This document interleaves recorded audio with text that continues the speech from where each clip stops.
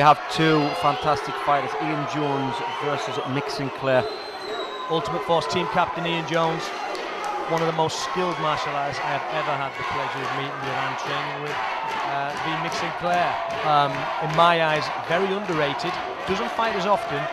Uh, moved over to the Predators gym along with his brother in Manchester, trained by Gav.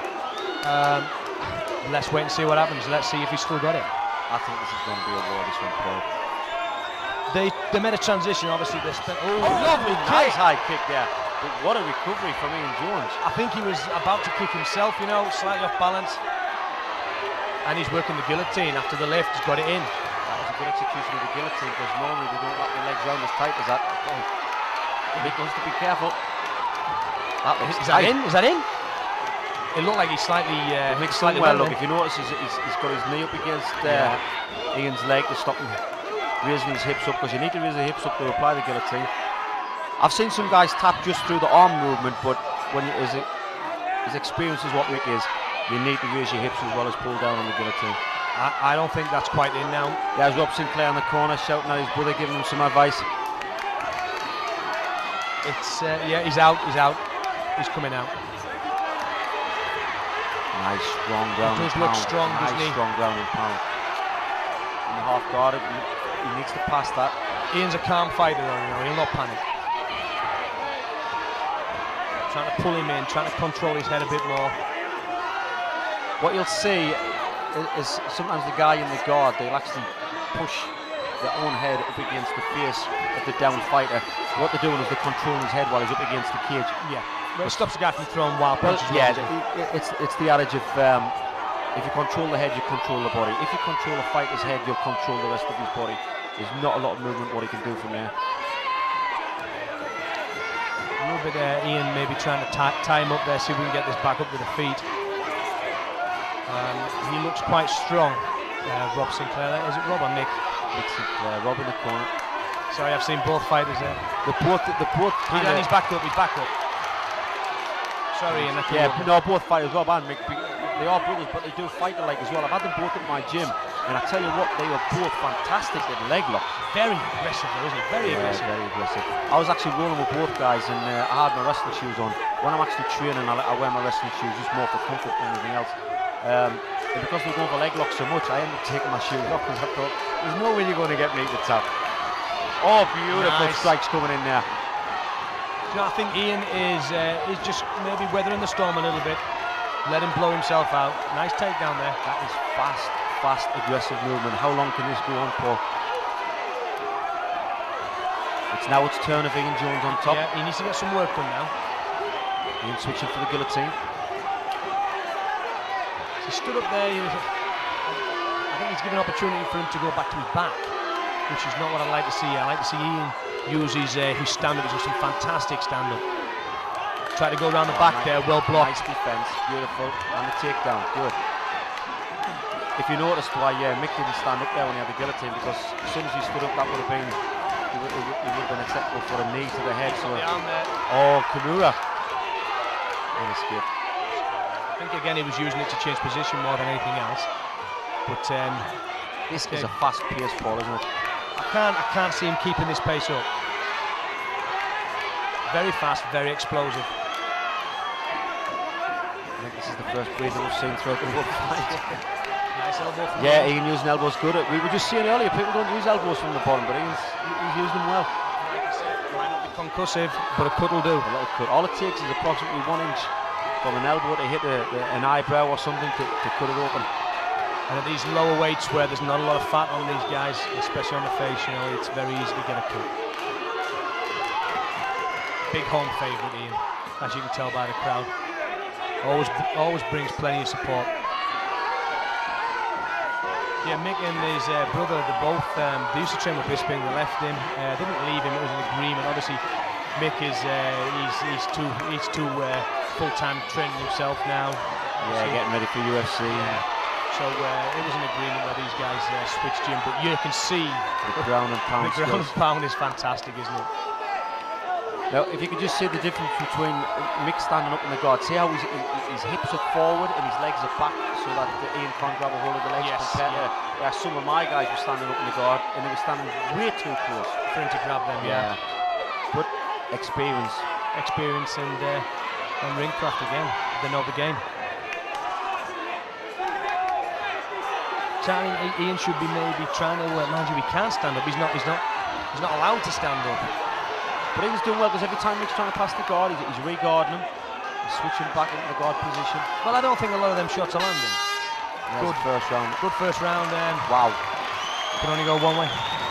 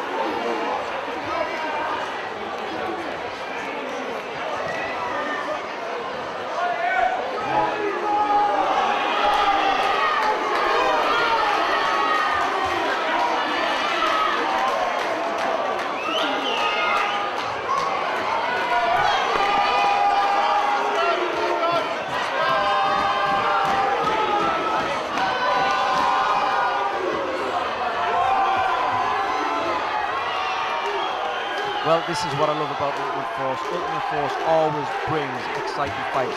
We have never seen a bad fight tonight. This one is no exception. What a fantastic first round, Paul. Yeah, brilliant first round. Bags of action. Something for everybody. You've got the skill on the ground. You've got the aggressiveness stood up, and the ground and pound skills. Nice kick there from Ian. Excellent work around. He's just. Uh, I think he wants to try and stay on his feet a bit more now, moving around a little bit. Moving around a bit more. He's, he's, he's taking his time. Both fit guys as well. Nice leg kick. Physique's look the same. Big strong guys. He's shaking his arms out a bit tight, do you think? Then? Yeah, yeah. I think he was uh, clinging on for that guillotine maybe a bit too long. You know what it's like yourself. It saps that energy. Yeah. I think he'll get it back in. Just, just uh, you know, stop tensing up a little bit, shake him off. Yeah, that's what he's doing. Yeah, you'll find some inexperienced fighters uh, hanging on to guillotine even though it's not on, and they forget that their arms will be heavy as lead when they're finished.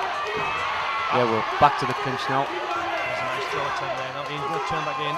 Beautiful takedown there. Beautiful takedown by Mick. He is a strong guy, isn't he? It's not. It, it looks easy when you get a body lock like that, but believe you me, it's not that easy to throw somebody down. That takes a lot, a lot of practice. We're back inside control. Um, he's thinking more about position there, Mick. Now I'm trying to think that he's maybe tired as well because we've, we've seen him in the first round punching away from this position from guard. What's he looking at? Well, he, he, he's, he's sitting reverse. I, I, to be honest, I'm not quite sure. I don't know if he's resting or what because uh, Ian has him in a, in a headlock, but he's kind of sitting like in a reverse position from side control. Yeah, I think uh, I think one's waiting for the other to do something here. Now he's, he's round the north and south for 69, as we call it. Now from here, there's a beautiful setup for the Kimura if he, if he, if he knows the move. It's one of my favourite positions from 69, setting up for the Kimura. Is he holding on to the shorts there, Mark? Was that be nice? oh, reversal. nice reversal. Now, do you know what? I, believe me or not, but when he was sitting in that reverse position from uh, from side control, I thought myself, he wants to be careful because he can get rolled over from there because he was leaning too far back over his head. Yeah, and that's exactly what happened. backside, yeah. I wish I'd said it now. you would have known what I was talking about. He's back up to his feet now. Yeah, nice. He's got the double underhooks. He's got a nice clinch there. Defending. Nice oh, roll. for the knee bar. Beautiful. Trying to switch the toe hold, uh, and he's got it. He's got a figure four toe hold. He needs to twist that toe right up to his backside, and that, that will that his accolade go. Yeah, his arms are free. Nice turn, though. Nice turn. Something for everybody. The skill on the floor. Again, Ian, one of our, uh, in fact, he is. He's the most skilled athlete that we have. Awesome display. Patiently. Like, none of them are slouch. It's just one stop action, isn't it? And we're back in there again where I think um, Mr. Sinclair will have a breather before he starts banging away See again. how low Mick, he's, he's got his head, uh, every now and then it's coming up to his chest, but then he's bringing his head down low. Uh, the, the head needs to be around about the solar plex stomach area when you're resting in the guard. You've got to be very careful. He's got it high there, but uh, now he's back down. When he comes high, see that's the perfect position, low below the chest. When he comes high, he's coming high and controlling Ian's head with his head. But when, it, when he is resting properly, he's bringing it lower down to the stomach, solar plex area. Both having a little bit of a show of appreciation there and a, a little bit of a breather. Now he's reacting again to the uh, Back to the ground. the referee's comments of uh, pick it up again.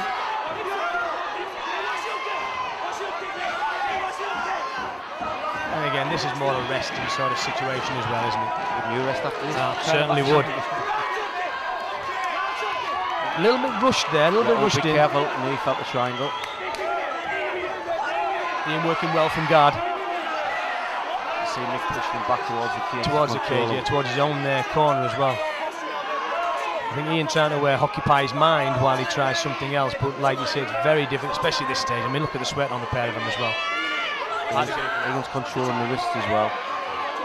Yeah, you can see why Mick's pushing him back because uh, there's Rob in the corner shouting advice. And it is, it's good to hear you, corner man. It is, yeah. No matter how good you think you are in there, it's nice to hear corner man shouting out moves. They can also get a second pair of eyes for you. They can see what your your opponent's doing before you can. I think we've got one of the uh, the uh, girlfriend or, or certainly a friend of uh, Mr. Sinclair there shouting encouragement as well. I think that's uh, you know the popularity of the sport now. I've I've said it before. I've got my own wife shouting for triangles and guillotines and arm bars. Everyone's Everyone's getting to know what the rules are. good use of the head, but you know I think the, I think the referee should be watching that there. There is a fine line between controlling with the head and slightly headbutting with the head. and rubbing as well, you know, weakening the skin. Nice elbow attempt there. End of the round again. Ah, fantastic, that's close. fantastic fight. That is close. I'm pleased I'm not a judge.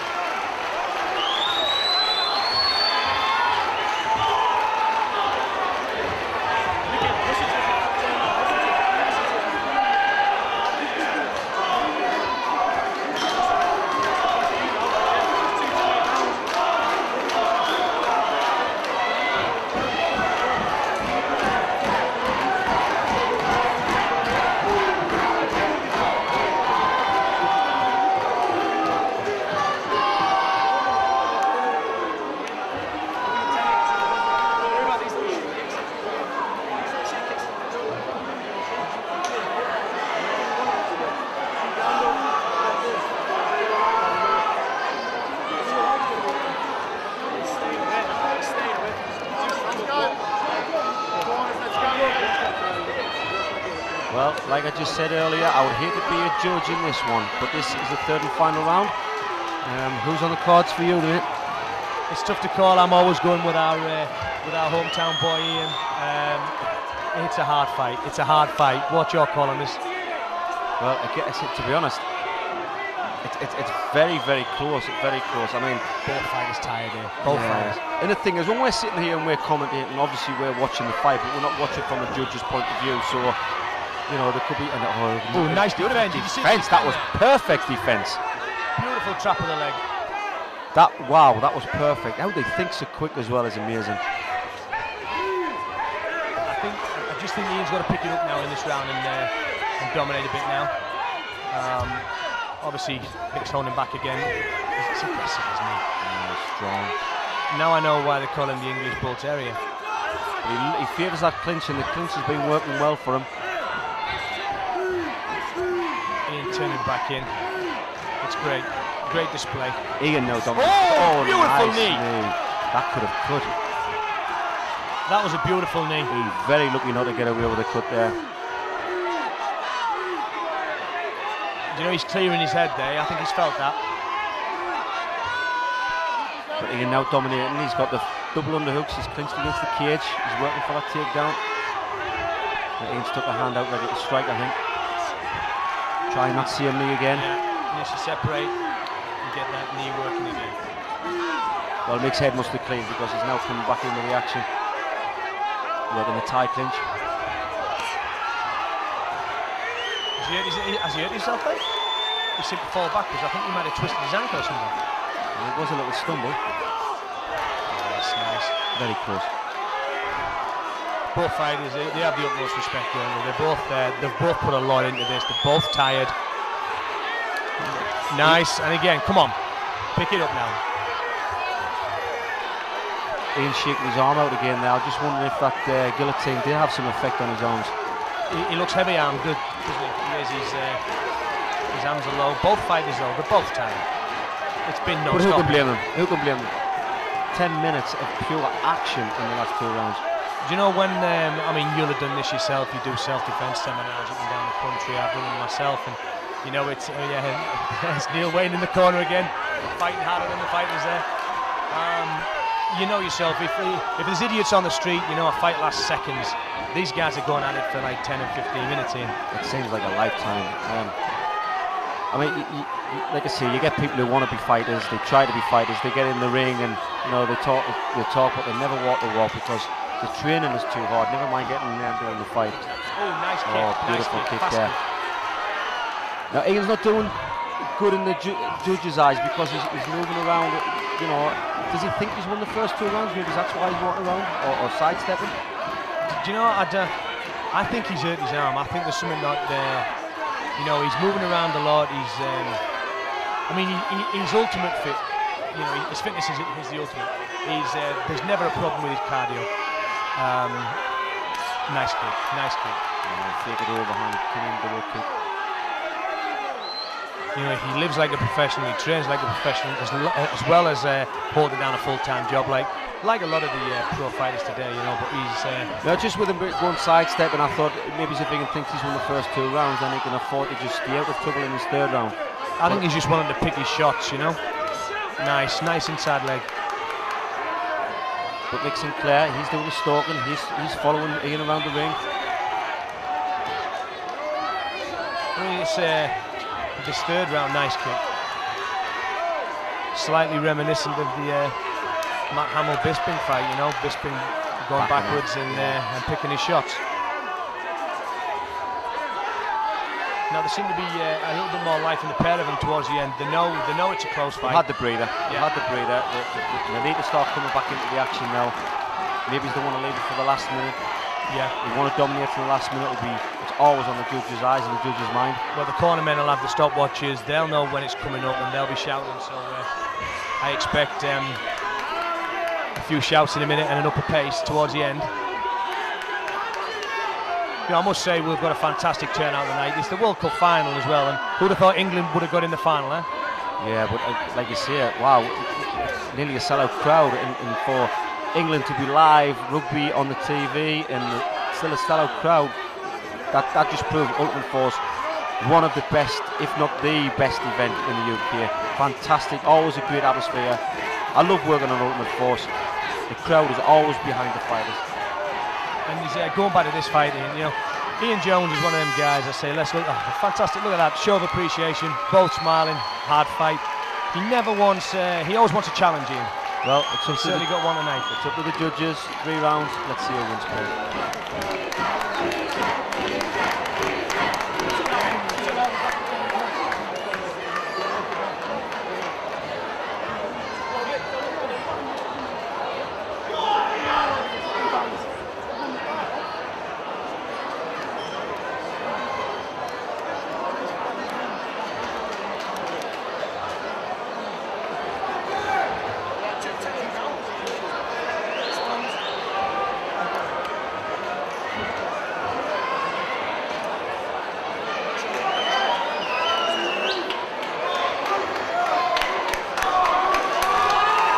Give a round of applause for these two warriors, ladies and gentlemen.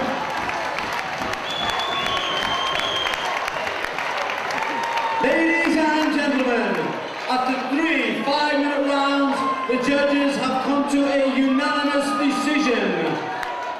And your winner,